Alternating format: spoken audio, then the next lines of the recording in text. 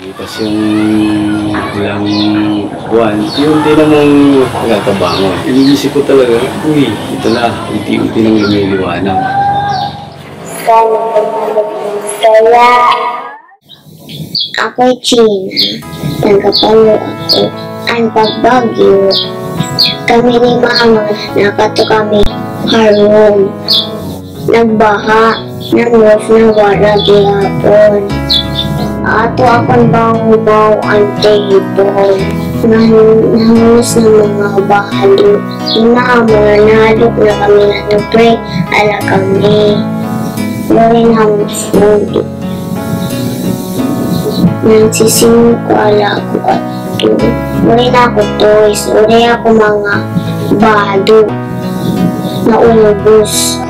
Ako si J.R. Selector.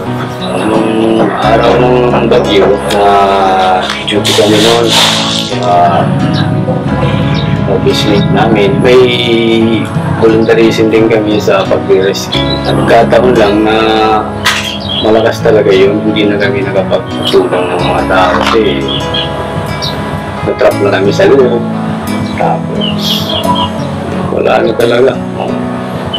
Baka kami yung masawin. Paglabas namin sa office,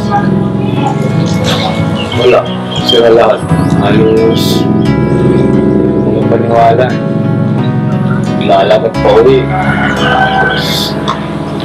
Hindi na lakad yun eh. Parang magapang nasa office hanggang sa bahay. Pagdating ko ng bahay, sira na. Doon na yung luwago. Wala nang tao sa bahay.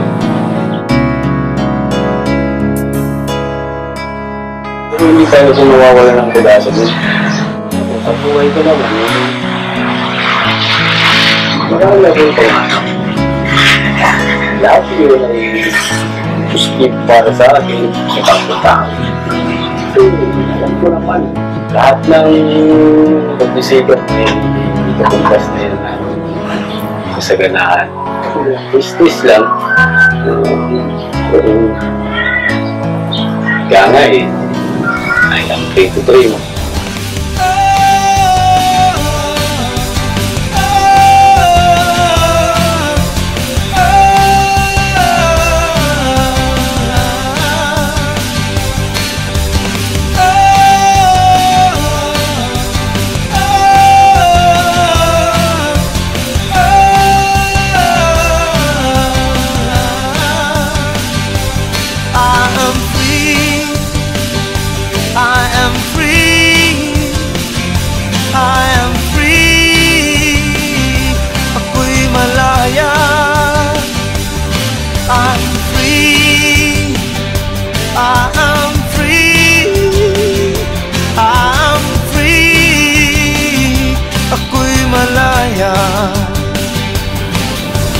May paraan na help amon.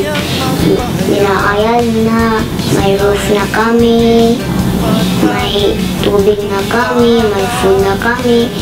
Derang ang sisinuka, tamtok mga bado, Napalitan na ako dito merkado. Dito yung na kami, may light na kami. Dito na akong TV. Nakaka-play na ako sa mga to. Ginagamit ako ng bag na notebook, may pencil, na may crayons, mga may daliwat, mga ballpen.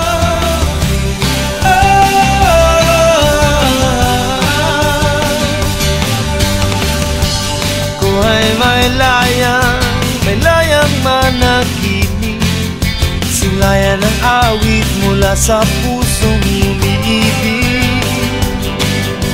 Kung nakikita ko lahat ng tao, parang ito kayo. Ito yung wala ng pag-asa. Buhay kayo. Pasalamat kayo ito, buhay kayo. Ngayon, wala na tayong magagawa sa mga namatay. Tulungan na lang tayo.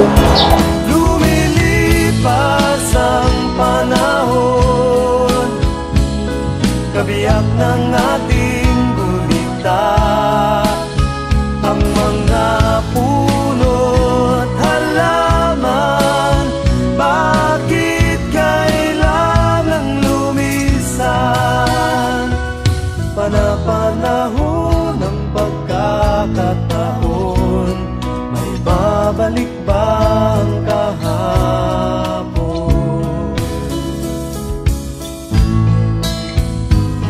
helicopter ng Irlanda, naniniwala ako may pag-asa.